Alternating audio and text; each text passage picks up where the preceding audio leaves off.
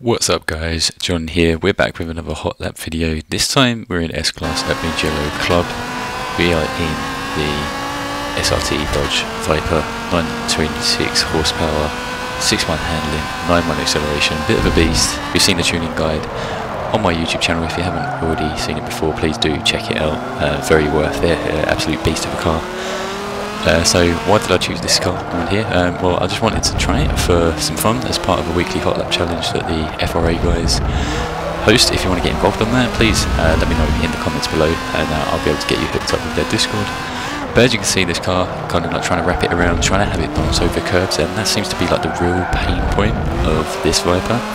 It is super, super difficult in the 2013 Viper for it to ride over curbs. It often gets very unstable and then it triggers a lot of bog from the traction control. Like TCS just kicks in way too much.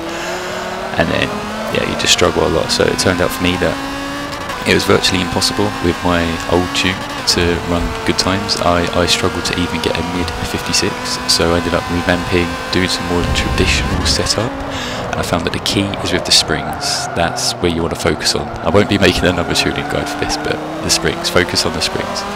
So let's get onto this lap. This is my best one of the session. Uh, so I'll try to avoid this curve on the left hand side because the car retaliates way too much from it. I'll try and touch the curbs as little as possible throughout the track. Apart from this one coming up into the left to be brake. Then I'll try and cross over as much of it as I can because it helps hook it round and then I try and swing the back out and then get on the power down as early as possible. Um, as you can see we're up against a Alfa 33 Stradale there which is an absolute beast. It tops out at 160 but it has mad acceleration. Patiently bringing it through the final turn.